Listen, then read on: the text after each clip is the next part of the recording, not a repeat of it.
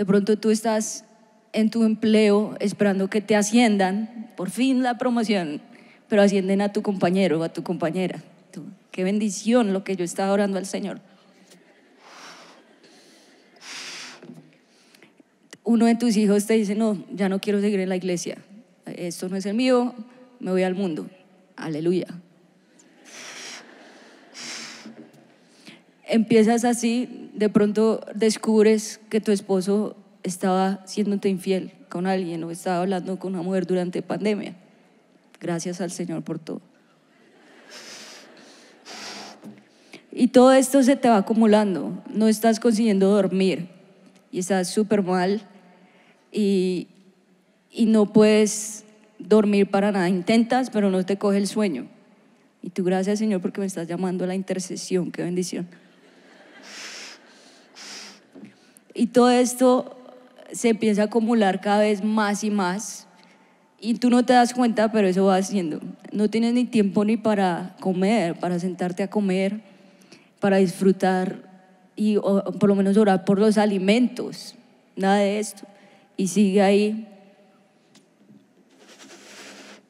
te llaman del banco y dices, mira, tienes que pagar 30 millones de pesos para mañana si no te quitamos la casa. Gracias Señor, tú eres bueno. Las deudas, las dificultades, todo esto, y se empieza a acumular cada vez más y más. Y tú vienes a la iglesia, estás en oración, dices, Señor, tú sabes lo que, por lo que yo estoy pasando, te sientes estancado en tu ministerio y dices, Señor, ¿para qué? ¿Será que tú sí me quieres usar?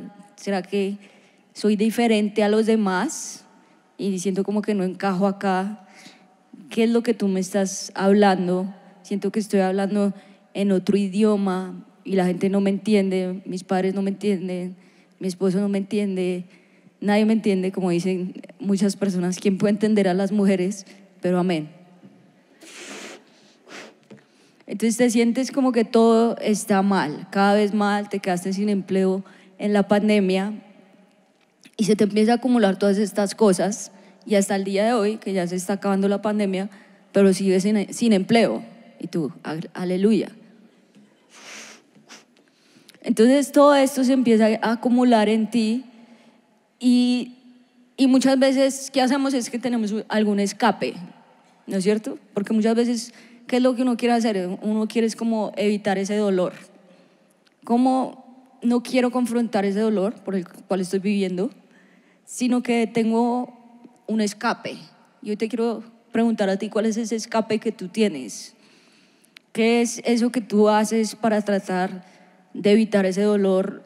Tal vez ese estrés, tal vez esa ansiedad, eh, tal vez ese ataque de pánico les digo, el año pasado conocí un pastor que, que hoy está con nosotros en, en nuestra iglesia y él dijo, yo pasé por esos ataques de pánico, yo pasé por depresión, yo estuve en el hospital y él era pastor de una iglesia grande. Y dijo, y me tocó admitir que yo necesitaba ayuda médico y me tocó ir a un psicólogo cristiano y tener tratamiento y empezar un proceso para salir de esto, porque ya llegó a ese punto de, del estrés y de todo esto que se le había acumulado. Tal vez te sientes súper estresado, estás trabajando 60 horas a la semana y ya te sientes como que no tienes tiempo para nada, ni no estás, si eres casado, no estás con tus hijos, no estás con tu esposo, y tu mundo se convirtió en el trabajo. Yo les digo, yo soy una persona que por naturaleza yo tiendo a ser mucho más enfocada en las tareas que en las personas, así que mi escape, por así decirlo, lo más fácil para mí es estar trabajando, estar haciendo cosas. Y, y lo más importante para el ser humano no es eso. Lo más importante para el ser humano es su familia, es las personas. Pero gracias a Dios, ahora yo soy consciente y sé que las personas son importantes. Amén. Y, y sé que necesito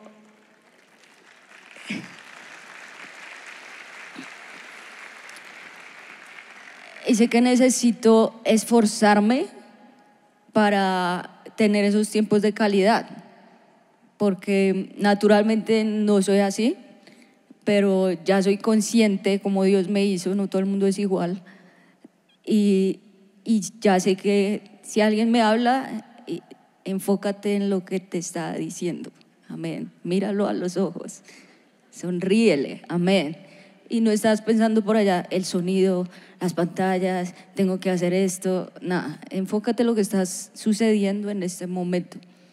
Pero todo esto se puede, se te va acumulando cada vez más y, y sé que aún en pandemia, acá en Colombia, que aún fue peor, gracias a Dios, en el, oh, en el estado donde yo vivo, la verdad, la pandemia no se sintió mucho y, no hubo muchos encierros, pero yo sé que acá sí, yo sé que acá mucha gente estuvo en su apartamento casi dos años. O sea, eso es peor que una cárcel. Por lo menos en la cárcel puedes salir al patio a correr, no sé pero es literalmente es como estar en una cárcel.